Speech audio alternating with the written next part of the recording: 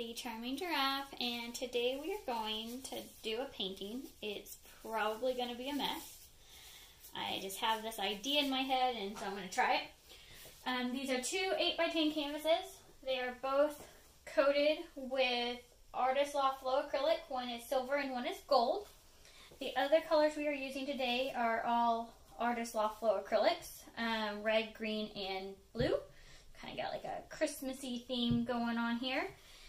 Um, the idea here today is to put paint down on the canvas and then I'm going to smush them together and see if we get a cool thing or not. Hopefully it'll be super cool.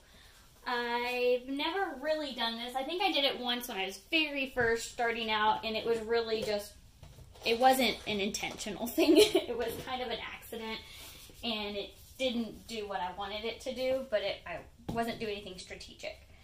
Uh, so I'm mildly more hopeful today because I kind of have a plan going in versus just say, hey, let's just do this random thing. Oops.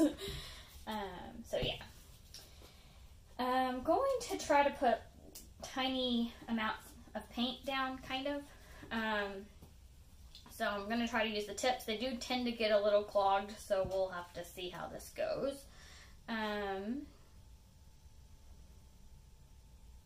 trying to decide how I want to actually pour it on here.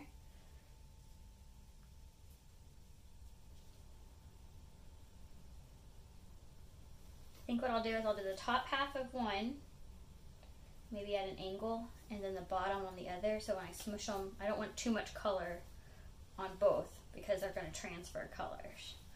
So I think that sounds like a good plan.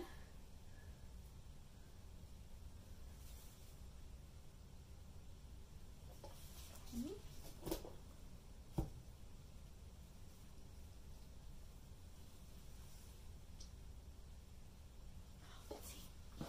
already clogged. My is already sinking. Come on.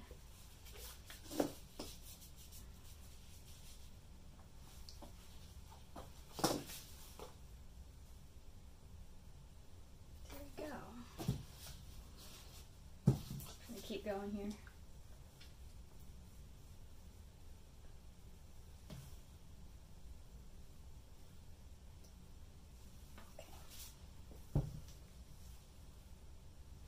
Didn't actually work as I was intending it to, huh?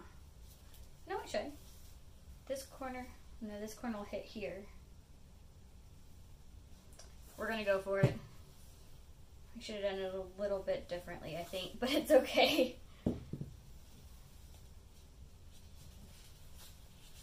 And if it doesn't work out perfectly, we can do something else with it.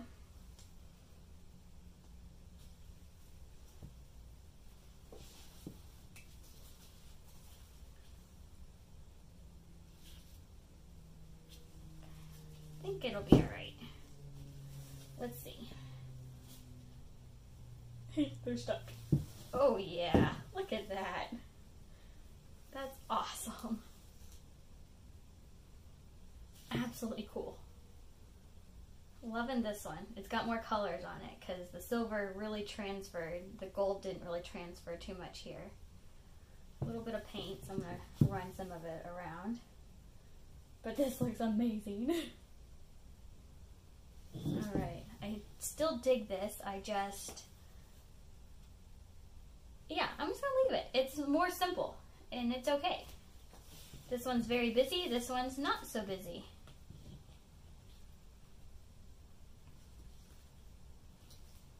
Can't tell if there's a chunk or if it's bubbles. Yeah, I think it's a chunk. I can get it out. There we go. Yeah, I love it. I'm going to it and then bring you in for close-up.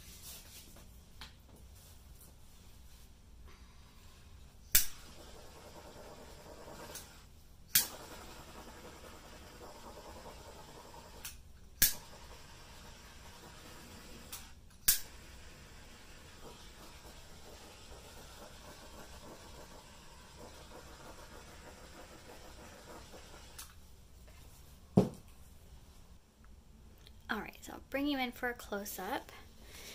And I think both of these will probably end up turning like this way. Like, I think I like it this way the best, and then I like it this way the best. Sorry for all the shadows. But I'm going to do the close-up the way that you saw me actually do it. so there is a little bit of bare canvas. I'll have to um, fix that, but that's not a big deal.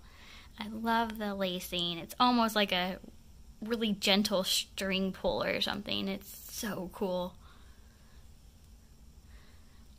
And I thought the busy one was my favorite. Now I'm not so sure after staring at the simpler one. Here's the busy one. We've got all the colors and a lot of that silver transferred over. So it's so cool. We've got all those little cells and lacing and the colors kind of blending together. Got some purple there from the red and the blue mixing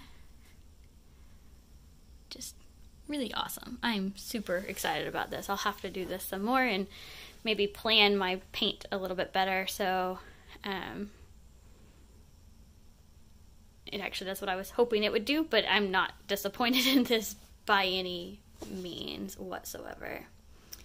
Let me know what you think in the comments. If you like this color combination, the technique, if you have any ideas for me to try for future videos um, in this technique or others um, with your colors and whatnot, just leave that all down below.